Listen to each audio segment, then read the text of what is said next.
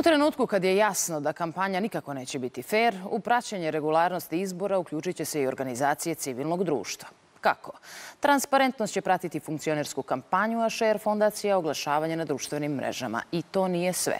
Kakvi su im realno dometi, šta će sa svim saznanjima i na koji način očekuju učešće građana, Jelena Kikić. Ko treba da bude na vlasti, da glasa u parlamentu ili donosi odluke u gradu? Na građanima je da odluče. Kako da budu sigurni u svoj izbor i da ih na putu do njega neko ne pokrade, pokušavaju da im olakšaju organizacije civilnog društva, nekada poznate i kao nevladine. Da li pratite njihov rad? Prvo vam kažem ne. Ne zanima vas ili niste upućeni? Pa nisam ni upućen, a prvo vam kažem nije baš da me nešto ne zanima, ali aj. Nešto mi se sviđa, nešto ne, ali digla sam ruke da sve to pratim. Zato što nema izlaza ili zato što nisu dovoljno efikasni? Teško mi je sad da vam pametno odgovorim, ali mislim da mi je do ovde svega. Kako procenjujete ko ima koristi, ko nema? Po uspehu, po ljudima koji su u njima? Po ljudima koji vode te organizacije.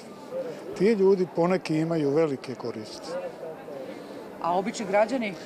Oni imaju manje koristi. Još se svi zainteresovani nisu ni kandidovali, a kampanja je uveliko počela. Da bi pravila važila podjednako za sve, bez obzira na odnos snaga, organizacije se oslanjaju i na građane.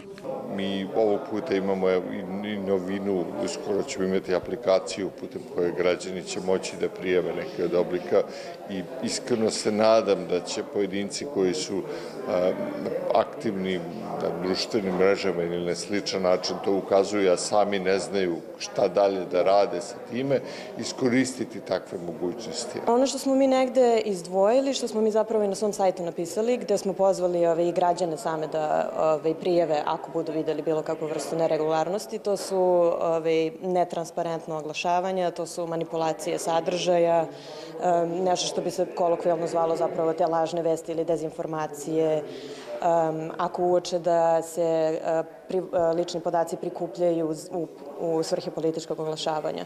Praksa je pokazala da što je pritisak jači, institucije bolje rade, ali pritiskaju ih i političari i građani. Čini mi se da u proteklom periodu građani jesu se aktivirali i čini mi se da ove informacije koje stižu, kao što smo videli kod ovih ekoloških demonstracija, ekoloških protesta, da kad krene napad, ko to plaća i sve ostalo, da građani jednostavno jesu svesni da, da je to nešto što je organske, što dolazi odavde i što nije, nije diktirano iz inostranih centara moći ili kako to već naša vlast kaže. Takođe, videli smo kod ženskih prava, kod, na primjer, onoga što se dešavalo sa Nisam prijavila, da su, da su građani svesni da moraju da vrše pritisak i da moraju da ukažu na to da pojedine institucije ne rade svoj posao. Fer i slobodni izbori podrazumevaju informisanost, a biti profesionalan u Srbiji znači da uz posao moraju da se prevazilaze i prepreke u oči izbora sve češće. Od početka godine smo u našoj bazi za januar, od, znači od e, početka januara do kraja januara zabeležili sedam pritisaka, jedan napad na imovinu, ali evo, nažalost, upravo pre ovaj, početka ove e, konferencije za štampu saznali smo da je e,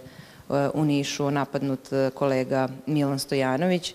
Novinar sam, novinar Pokaži mi da sam, imam da novinar. Pokaži da si novinar. Sad ću da ti pokažem. Reportera N1 iz Niša napali su radnici javno-komunalnog preduzeća, a policija je problem rešila tako što je pola sata obezbeđivala njega i snimatelja dok su radili svoj posao. Zaštita prava i sloboda izostala je i na sretenskom protestu ispred Palate Srbija. Davanje raznih obećanja u oči izbora ni zakon ne može da zaustavi, ali svaki građanin ima pravo da zna kako se stranke finansiraju, kako troše novac, da li kupuju glasove ili novcem iz budžeta blate svoje političke protivnike.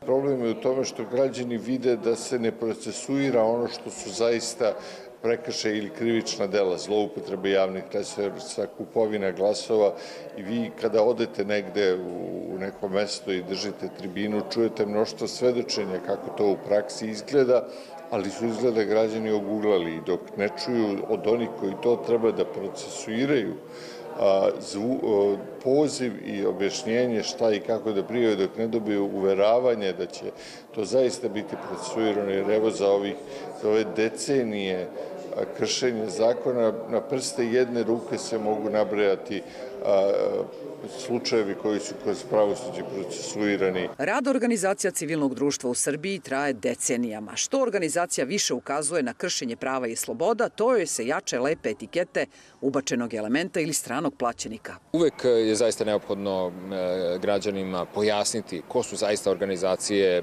da one rade u javnom interesu, e, da sve što one zastupaju je u skladu sa zakonima, ustavom, u skladu sa, sa onim što su najbolje prakse i Evropskog suda za ljudska prava i brojnih drugih ove, institucija, ali očigledno je obođivanje još uvek neophodno i e, negde ta kampanja je suviše jaka, a kada nemate medije da govorite da niste izdajnik, da niste strani plaćenik, da radite u interesu Srbije i e, države i, i uopšte svih zakona koji ovde važe, onda vam je ta borba ipak malo neravnopravna.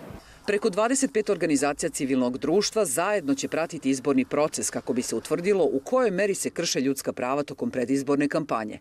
Osim redovnog obaveštavanja javnosti, najavljuju i podnošenje prijava u slučaju kršenja zakona, a dalje preuzimaju građani i institucije. Jelena Kikić, Newsmax Adria.